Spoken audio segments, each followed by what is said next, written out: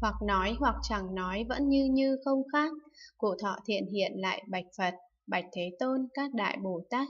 tu hành bát nhã ba la mật đa là việc rất khó. Bởi vì bát nhã ba la mật đa này hoặc tu hoặc chẳng tu, không tăng không giảm, cũng không thuận trái. Thế mà chuyên cần tu học bát nhã ba la mật đa như thế cho đến quả vị giác ngộ cao tột, không hề thối truyền. Vì sao? Bạch Thế Tôn, các đại Bồ Tát tu hành bát nhã ba la mật đa như tu hư không hoàn toàn không có sở hữu. Bạch Thế Tôn, như trong hư không không có sắc có thể an lập, không có thọ tưởng hành thức có thể an lập. Việc tu hành bát nhã ba la mật đa cũng như vậy. Bạch Thế Tôn như trong hư không không có nhãn xứ có thể an lập, không có nhĩ tĩ thiệt thân ý xứ có thể an lập. Việc tu hành bát nhã ba la mật đa cũng như vậy.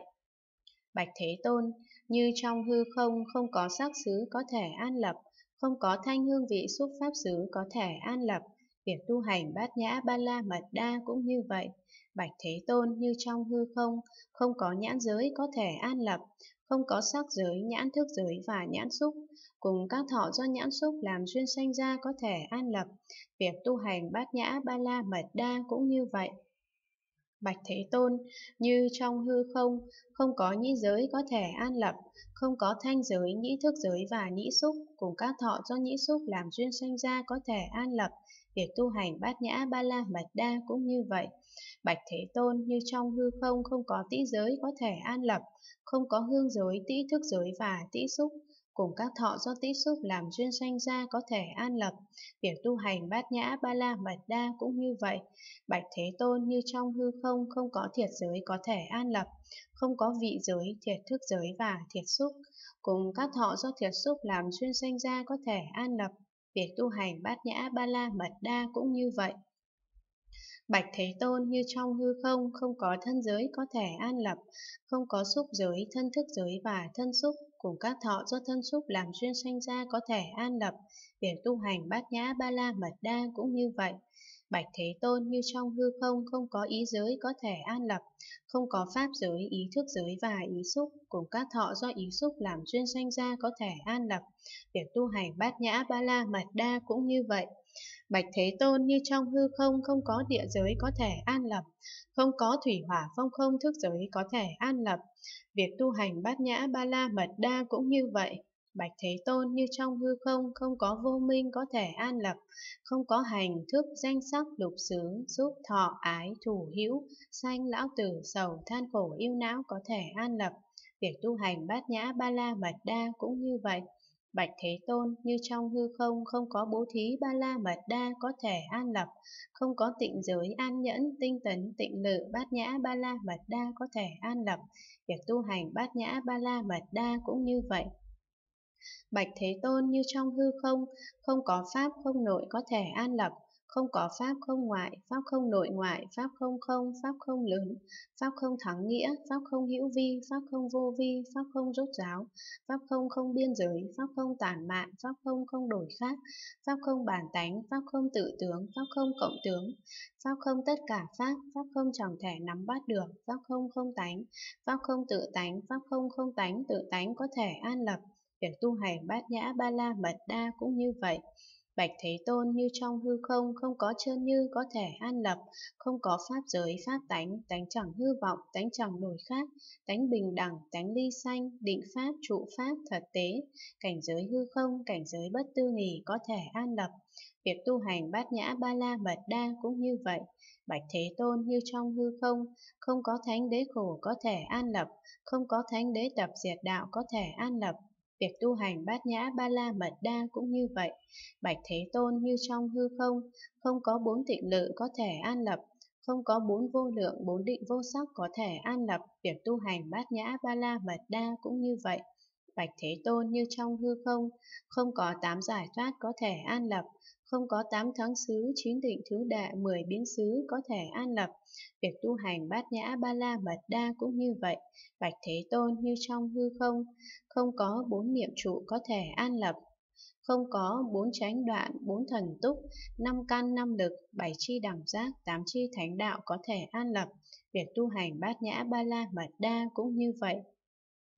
Bạch Thế Tôn như trong hư không không có pháp môn giải thoát không có thể an lập, không có pháp môn giải thoát vô tướng vô nguyện có thể an lập. Việc tu hành bát nhã ba la mật đa cũng như vậy. Bạch Thế Tôn như trong hư không, không có 10 địa Bồ Tát có thể an lập, việc tu hành bát nhã ba la mật đa cũng như vậy. Bạch Thế Tôn như trong hư không, không có năm loại mắt có thể an lập, không có sáu phép thần thông có thể an lập. Việc tu hành bát nhã ba la mật đa cũng như vậy. Bạch Thế Tôn như trong hư không, không có mười lực Phật có thể an lập, không có bốn điều không sợ, bốn sự hiểu biết thông suốt, đại từ, đại bi, đại hỷ, đại xả, 18 pháp Phật bất cộng có thể an lập. Việc tu hành bát nhã ba la mật đa cũng như vậy. Bạch Thế Tôn như trong hư không, không có pháp không quên mất có thể an lập, không có tánh luôn luôn xả có thể an lập. Việc tu hành bát nhã ba la mật đa cũng như vậy. Bạch Thế Tôn như trong hư không, không có trí nhất thiết có thể an lập, không có trí đạo tướng, trí nhất thiết tướng có thể an lập. Việc tu hành bát nhã ba la mật đa cũng như vậy. Bạch Thế Tôn, như trong hư không không có tất cả pháp môn Đà La Ni có thể an lập, không có tất cả pháp môn Tam Ma Địa có thể an lập. Việc tu hành bát nhã ba la mật đa cũng như vậy. Bạch Thế Tôn như trong hư không, không có quả dự lưu có thể an lập, không có quả nhất lai bất hoàn A-la-hán có thể an lập. Việc tu hành bát nhã ba la mật đa cũng như vậy. Bạch Thế Tôn như trong hư không, không có quả vị độc giác có thể an lập, việc tu hành bát nhã ba la mật đa cũng như vậy. Bạch Thế Tôn như trong hư không, không có tất cả hạnh đại Bồ Tát có thể an lập, việc tu hành bát nhã ba la mật đa cũng như vậy. Bạch Thế Tôn như trong hư không, không có quả vị giác ngộ cao tột của chư Phật có thể an lập, việc tu hành bát nhã ba la mật đa cũng như vậy. Bấy giờ cụ thọ thiện hiện bạch Phật, Bạch Thế Tôn, Đại Bồ Tát ấy có khả năng mặc áo giáp đại công đức như thế, chúng con và hữu tình đều nên kính lễ. Bạch Thế Tôn, nếu Đại Bồ Tát vì các hữu tình mặc áo giáp đại công đức, chuyên cần tinh tấn thì giống như vì hư không mặc áo giáp đại công đức phát khởi chuyên cần tinh tấn. Bạch Thế Tôn, nếu Đại Bồ Tát vì muốn thành thục giải thoát hữu tình, mặc áo giáp đại công đức chuyên cần tinh tấn thì giống như vì hư không, thành thục giải thoát mặc áo giáp đại công đức phát khởi chuyên cần tinh tấn. Bạch Thế Tôn, nếu Đại Bồ Tát vì tất cả Pháp mà mặc áo giáp Đại Công Đức, chuyên cần tinh tấn, thì như vì hư không mặc áo giáp Đại Công Đức phát khởi chuyên cần tinh tấn. Bạch Thế Tôn, nếu Đại Bồ Tát vì cứu vớt hữu tình, khiến ra khỏi sanh tử mặc áo giáp Đại Công Đức chuyên cần tinh tấn, thì như vì nhấc hư không đặt lên chỗ rất cao mà mặc áo giáp Đại Công Đức phát khởi chuyên cần tinh tấn. Bạch Thế Tôn, Đại Bồ Tát, đắc đại tinh tấn bát nhã ba la mật đa vì các loài hữu tình như hư không, mau thoát sanh tử, phát khởi, hướng đến quả vị giác ngộ cao tột. Bạch Thế Tôn, Đại Bồ Tát đắc đại thần lực chẳng thể nghĩ bàn không sánh kịp, vì các biển pháp tánh như hư không, mặc áo giáp đại công đức phát khởi hướng đến quả vị giác ngộ cao tột. Bạch Thế Tôn, Đại Bồ Tát vô cùng dõng mãnh, vì quả vị giác ngộ cao tột của chư Phật như hư không mặc áo giáp công đức phát khởi sự chuyên cần tinh tấn. Bạch Thế Tôn, Đại Bồ Tát, vì các loài hữu tình như hư không, cần tu khổ hạnh, muốn chứng quả vị giác ngộ cao tột rất là ít có. Vì sao? Bạch Thế Tôn, giả sử chưa như lai ứng tránh đẳng giác đầy cả thế giới ba lần ngàn, nhiều như rừng tre, mè, lau mía, vân vân hoặc trải qua một kiếp hay hơn một kiếp, vì các hữu tình thường nói tránh pháp để độ vô lượng vô biên hữu tình, khiến nhập niết bàn rốt giáo an lạc, nhưng thế giới hữu tình chẳng tăng chẳng giảm. Vì sao? Vì các hữu tình đều không có sở hữu bản tánh viễn ly. Bạch Thế Tôn, giả sử chư như lai ứng tránh đẳng giác khắp trong mười phương thế giới như các sông Hằng, nhiều như các rừng tre, mè, lau mía, vân vân, hoặc trải qua một kiếp hay hơn một kiếp, vì các hữu tình thường thuyết tránh pháp để độ vô lượng vô biên hữu tình khiến nhập niết bàn rốt giáo an lạc, nhưng thế giới hữu tình chẳng tăng chẳng giảm, vì sao? Vì các hữu tình đều không có sở hữu bản tánh viễn ly. Bạch Thế Tôn giả sử chư Như Lai ứng tránh đẳng giác khắp tất cả mười phương thế giới, nhiều như rừng tre, mè, lau mía, hoặc một kiếp hay hơn một kiếp vì các hữu tình thường nói tránh pháp để độ vô lượng vô biên hữu tình, khiến vào niết bàn rốt giáo an lạc nhưng thế giới hữu tình chẳng tăng chẳng giảm. Vì sao? Vì các hữu tình đều không có sở hữu bản tánh viễn ly. Bạch Thế Tôn do nhân duyên ấy, con nói thế này. Đại Bồ Tát vì các loài hữu tình như hư không, thành thục giải thoát, cần tu khổ hạnh, muốn chứng quả vị giác ngộ cao tột rất là ít có. Bấy giờ trong Pháp hội có một bí xô thầm nghĩ thế này, ta nên kính lễ bát nhã ba la mật đa sâu xa, trong đây tuy là không có các pháp sanh diệt, nhưng mà có giới uẩn, định uẩn, tuệ uẩn, giải thoát uẩn, giải thoát tri kiến uẩn có thể an lập được, cũng có quả dự lưu nhất lai bất hoàn A-la-hán có thể an lập được, cũng có quả vị độc giác có thể an lập được, cũng có quả vị giác ngộ cao tột có thể an lập được. Cũng có ngôi báu Phật Pháp Tăng có thể an lập được, cũng có sự chuyển vận bánh xe Pháp mầu nhiệm, độ các loài hữu tình có thể an lập được. Đức Phật biết ý nghĩ ấy bảo rằng, này bí sô, đúng vậy, đúng vậy, bát nhã ba la mật đa sâu xa vi diệu khó lường. Bấy giờ thiên đế thích hỏi cụ thọ thiện hiện, Thưa Đại Đức, nếu Đại Bồ Tát muốn học bát nhã ba la mật đa sâu xa, thì nên học như thế nào?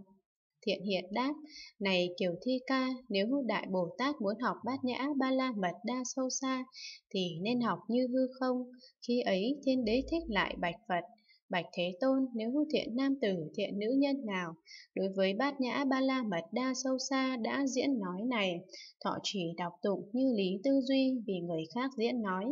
thì con sẽ làm thế nào để bảo vệ cú xin Thế Tôn dù lòng thương chỉ giáo? Bấy giờ cụ thọ thiện hiện bảo thiên đế thích. Này Kiều Thi Ca, ông thấy có pháp có thể bảo vệ chăng? Thiên đế thích thưa, dạ không, thưa đại đức, tôi không thấy có pháp để có thể bảo vệ. Thiện hiện nói, này kiểu thi ca, nếu thiện nam tử, thiện nữ nhân nào an trú như bát nhã ba la mật đa sâu xa đã diễn nói, tức là thủ hộ, nếu thiện nam tử, thiện nữ nhân nào an trú như bát nhã ba la mật đa sâu xa đã diễn nói, thường chẳng xa lìa thì nên biết tất cả nhân và phi nhân vân vân, muốn dình tìm chỗ sơ hở để làm hại hoàn toàn không thể được. Này Kiều Thi Ca, nếu muốn bảo vệ các Bồ Tát an trú bát nhã ba la mật đa sâu xa như đã diễn nói, thì như muốn bảo vệ hư không không khác. Này kiểu thi ca, nếu muốn bảo vệ các Bồ Tát tu hành bát nhã ba la mật đa, thì đó là sự hoang tưởng nhọc mệt hoàn toàn không ích lợi.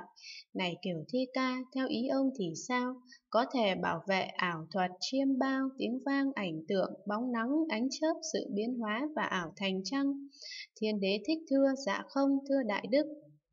Thiện hiện nói, này Kiều Thi Ca muốn bảo vệ các Bồ Tát tu hành bát nhã ba la mật đa cũng như thế, hoang tưởng mệt nhọc hoàn toàn không lợi ích. Này Kiều Thi Ca, theo ý ông thì sao, có thể bảo vệ tất cả như lai ứng tránh đảm giác và các việc biến hóa mà Phật đã làm chăng?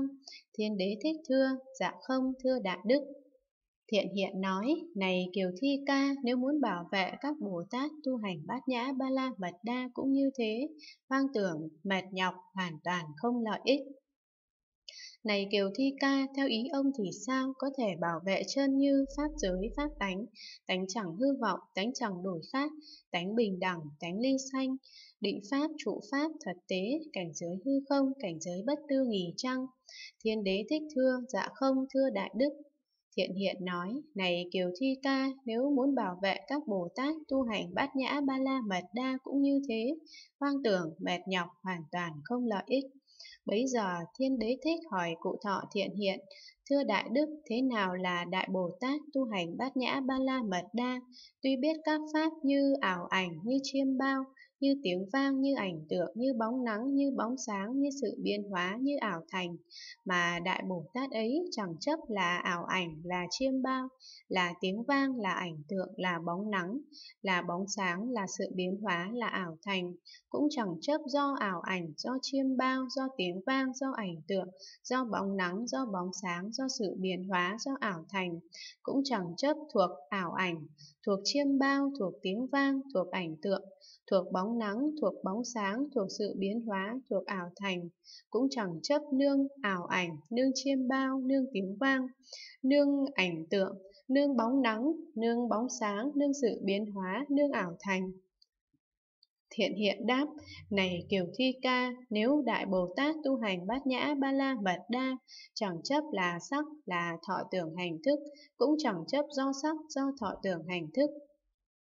cũng chẳng chấp thuộc sắc, thuộc thọ tưởng hành thức, cũng chẳng chấp nương sắc, nương thọ tưởng hành thức, là Đại Bồ Tát tu hành bát nhã ba la mật đa, tuy biết các pháp như ảo ảnh cho đến như ảo thành, mà chẳng chấp là ảo ảnh cho đến là ảo thành, cũng chẳng chấp do ảo ảnh cho đến do ảo thành, cũng chẳng chấp thuộc ảo ảnh cho đến thuộc ảo thành, cũng chẳng chấp nương ảo ảnh cho đến nương ảo thành. Này Kiều Thi Ca, nếu Đại Bồ Tát tu hành bát bát nhã ba la mật đa, chẳng chấp là nhãn xứ, là nhi tĩ thiệt thân ý xứ, cũng chẳng chấp là do nhãn xứ, do nhĩ tĩ thiệt thân ý xứ, cũng chẳng chấp thuộc nhãn xứ, thuộc nhĩ tĩ thiệt thân ý xứ, cũng chẳng chấp nương nhãn xứ, nương nhĩ tĩ thiệt thân ý xứ, là Đại Bồ Tát tu hành bát nhã ba la mật đa, tuy biết các pháp như ảo ảnh cho đến như ảo thành, mà chẳng chấp là ảo ảnh cho đến là ảo thành, cũng chẳng chấp do ảo ảnh cho đến do ảo thành, cũng chẳng chấp thuộc ảo ảnh cho đến thuộc ảo thành, cũng chẳng chấp nương ảo ảnh cho đến nương ảo thành. Này Kiều Thi Ca, nếu Đại Bồ Tát tu hành bát nhã ba la mật đa, chẳng chấp là sắc xứ, là thanh hương vị xúc pháp xứ, cũng chẳng chấp do sắc xứ, do thanh hương vị xúc pháp xứ, cũng chẳng chấp thuộc sắc xứ, thuộc thanh hương vị xúc pháp xứ, cũng chẳng chấp nương sắc xứ, nương thanh hương vị xúc pháp xứ, là Đại Bồ Tát tu hành bát nhã ba la mật đa, tuy biết các pháp như ảo ảnh cho đến như ảo thành, mà chẳng chấp là ảo ảnh cho đến là ảo thành, cũng chẳng chấp do ảo ảnh cho đến do ảo thành, cũng chẳng chấp thuộc ảo ảnh cho đến thuộc ảo thành, cũng chẳng chấp nương ảo ảnh cho đến nương ảo thành. Này Kiều Thi Ca, nếu Đại Bồ Tát tu hành bát nhã ba la mật đa, chẳng chấp là nhãn giới, là sắc giới, nhãn thức giới và nhãn xúc, cùng các thọ do nhãn xúc làm duyên sanh ra, cũng chẳng chấp do nhãn giới, do sắc giới cho đến các thọ do nhãn xúc làm duyên sanh ra, cũng chẳng chấp thuộc nhãn giới, thuộc sắc giới cho đến thuộc các thọ do nhãn xúc làm duyên sanh ra, cũng chẳng chấp nương nhãn giới, nương sắc giới cho đến nương các thọ do nhãn xúc làm duyên sanh ra là Đại Bồ Tát tu hành bát nhã ba la mật đa, tuy biết các pháp như ảo ảnh cho đến như ảo thành, mà chẳng chấp là ảo ảnh cho cho đến là ảo thành, cũng chẳng chấp do ảo ảnh cho đến do ảo thành, cũng chẳng chấp thuộc ảo ảnh cho đến thuộc ảo thành, cũng chẳng chấp nương ảo ảnh cho đến nương ảo thành.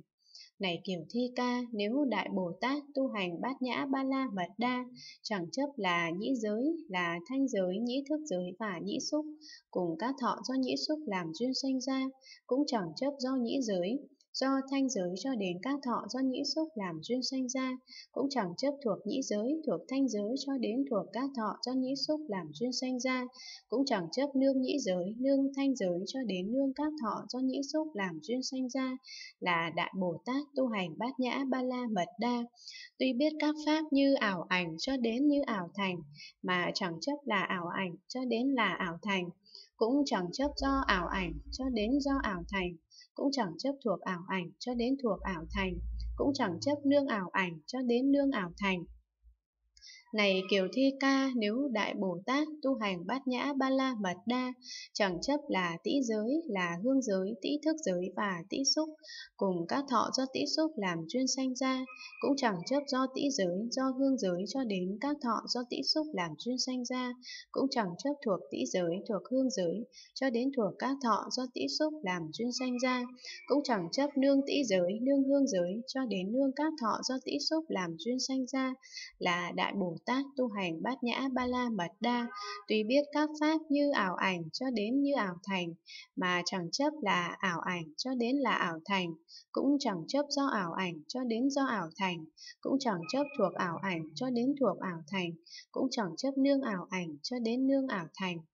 Này kiểu thi ca, nếu Đại Bồ Tát tu hành bát nhã ba la mật đa, chẳng chấp là thiệt giới, là vị giới, thiệt thức giới và thiệt xúc, cùng các thọ do thiệt xúc làm duyên sanh ra, cũng chẳng chấp do thiệt giới, do vị giới cho đến các thọ do thiệt xúc làm duyên sanh ra, cũng chẳng chấp thuộc thiệt giới, thuộc vị giới cho đến thuộc các thọ do thiệt xúc làm duyên sanh ra, cũng chẳng chấp nương thiệt giới, nương vị giới cho đến nương các thọ do thiệt xúc làm duyên sanh ra, là Đại Bồ Tát tu hành bát nhã ba la mật đa, tuy biết các pháp như ảo ảnh cho đến như ảo thành, mà chẳng chấp là ảo ảnh cho đến là ảo thành.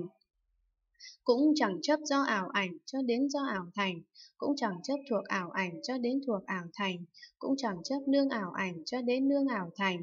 Này kiểu thi ca, nếu Đại Bồ Tát tu hành bát nhã ba la mật đa chẳng chấp là thân giới, là xúc giới, thân thức giới và thân xúc, cùng các thọ do thân xúc làm duyên sanh ra, cũng chẳng chấp do thân giới, do xúc giới cho đến các thọ do thân xúc làm duyên sanh ra, cũng chẳng chấp thuộc thân giới, thuộc xúc giới, cho đến thuộc các thọ do thân xúc làm duyên sanh ra, cũng chẳng chấp nương thân giới, nương xúc giới cho đến nương các thọ do thân xúc làm duyên sanh ra, là Đại Bồ Tát tu hành bát nhã ba la mật đa, tuy biết các pháp như ảo ảnh cho đến như ảo thành, mà chẳng chấp là ảo ảnh cho đến là ảo thành, cũng chẳng chấp do ảo ảnh cho đến do ảo thành, cũng chẳng chấp thuộc ảo ảnh cho đến thuộc ảo thành, cũng chẳng chấp nương ảo ảnh cho đến nương ảo thành.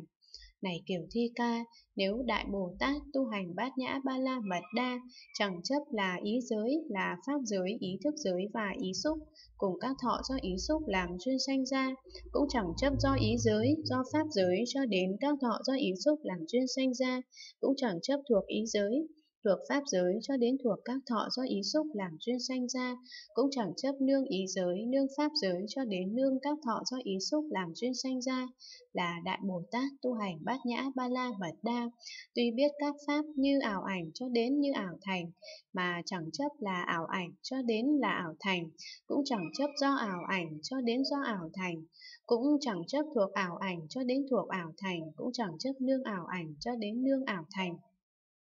Này Kiều Thi Ca, nếu Đại Bồ Tát tu hành bát nhã ba la mật đa chẳng chấp là địa giới, là thủy hỏa phong không thức giới, cũng chẳng chấp do địa giới, do thủy hỏa phong không thức giới, cũng chẳng chấp thuộc địa giới, thuộc thủy hỏa phong không thức giới, cũng chẳng chấp nương địa giới, nương thủy hỏa phong không thức giới, là Đại Bồ Tát tu hành bát nhã ba la mật đa, tuy biết các pháp như ảo ảnh cho đến như ảo thành, mà chẳng chấp là ảo ảnh cho đến là ảo thành, cũng chẳng chấp do ảo ảnh cho đến do ảo thành, cũng chẳng chấp thuộc ảo ảnh cho đến thuộc ảo thành, cũng chẳng chấp nương ảo ảnh cho đến nương ảo thành. Này kiểu thi ca, nếu Đại Bồ Tát Tu hành bát nhã ba la mật đa chẳng chấp là vô minh, là hành thức danh sắc lục xứ, xúc thọ ái thủ hữu, sanh lão tử sầu than khổ yêu não, cũng chẳng chấp do vô minh, do hành cho đến do lão tử sầu than khổ yêu não, cũng chẳng chấp thuộc vô minh,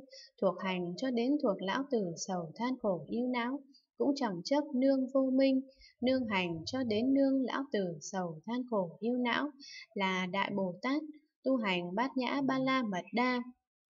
Tùy biết các pháp như ảo ảnh cho đến như ảo thành mà chẳng chấp là ảo ảnh cho đến là ảo thành, cũng chẳng chấp do ảo ảnh cho đến do ảo thành, cũng chẳng chấp thuộc ảo ảnh cho đến thuộc ảo thành, cũng chẳng chấp nương ảo ảnh cho đến nương ảo thành.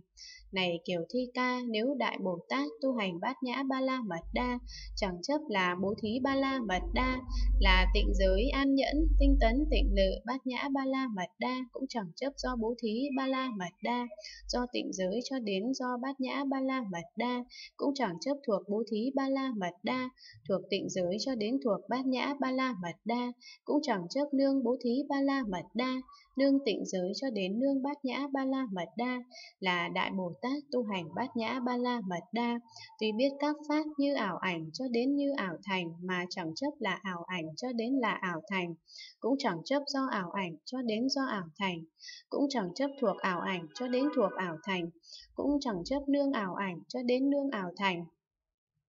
Này Kiều Thi Ca, nếu Đại Bồ Tát tu hành bát nhã ba la mật đa, chẳng chấp là pháp không nội, là pháp không ngoại, pháp không nội ngoại, pháp không không, pháp không lớn, pháp không thắng nghĩa, pháp không hữu vi, pháp không vô vi, pháp không rốt ráo, pháp không không biên giới,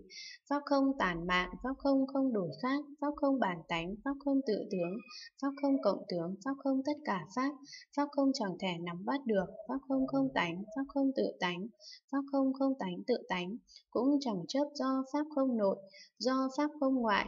cho đến do pháp không không tánh tự tánh, cũng chẳng chấp thuộc pháp không nội, thuộc pháp không ngoại, cho đến thuộc pháp không không tánh tự tánh, cũng chẳng chấp nương pháp không nội, nương pháp không ngoại, cho đến nương pháp không không tánh tự tánh, là Đại Bồ Tát tu hành bát nhã ba la mật đa, tuy biết các pháp như ảo ảnh cho đến như ảo thành mà chẳng chấp là ảo ảnh cho đến là ảo thành, cũng chẳng chấp do ảo ảnh cho đến do ảo thành, cũng chẳng chấp thuộc ảo ảnh cho đến thuộc ảo thành, cũng chẳng chấp nương ảo ảnh cho đến nương ảo thành. Này Kiều Thi Ca, nếu Đại Bồ Tát tu hành bát nhã ba la mật đa, chẳng chấp là chân như là pháp giới, pháp tánh, tánh chẳng hư vọng, tánh chẳng đổi khác, tánh bình đẳng, tánh ly sanh, định pháp, trụ pháp, thật tế, cảnh giới hư không, cảnh giới bất tư nghỉ, cũng chẳng chấp do chân như, do pháp giới, cho đến do cảnh giới bất tư nghỉ, cũng chẳng chấp thuộc chân như, thuộc pháp giới, cho đến thuộc cảnh giới bất tư nghỉ, cũng chẳng chấp nương chân như, nương pháp giới, cho đến nương cảnh giới bất tư nghỉ,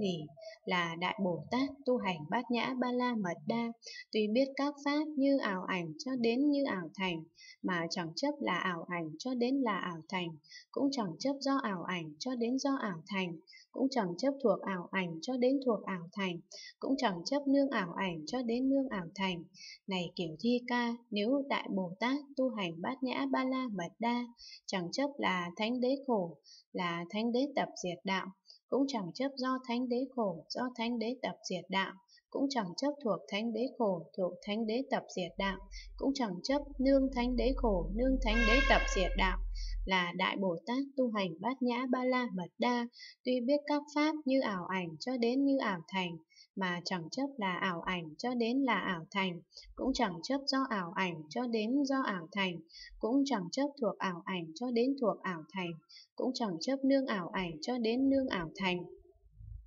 Này Kiều Thi Ca, nếu Đại Bồ Tát tu hành bát nhã ba la mật đa, chẳng chấp là bốn tịnh lự, là bốn vô lượng, bốn định vô sắc, cũng chẳng chấp do bốn tịnh lự, do bốn vô lượng, bốn định vô sắc, cũng chẳng chấp thuộc bốn tịnh lự, thuộc bốn vô lượng, bốn định vô sắc, cũng chẳng chấp nương bốn tịnh lự, nương bốn vô lượng, bốn định vô sắc, là Đại Bồ Tát tu hành bát nhã ba la mật đa, tuy biết các pháp như ảo ảnh cho đến như ảo thành, mà chẳng chấp là ảo ảnh ảnh cho đến là ảo thành, cũng chẳng chấp do ảo ảnh cho đến do ảo thành, cũng chẳng chấp thuộc ảo ảnh cho đến thuộc ảo thành, cũng chẳng chấp nương ảo ảnh cho đến nương ảo thành. Hết quyển thứ 291